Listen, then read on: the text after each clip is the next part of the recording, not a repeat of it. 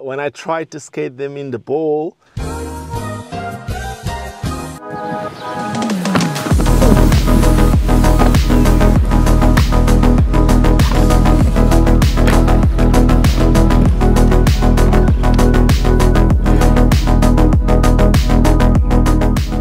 it wasn't the most stable skate, number one.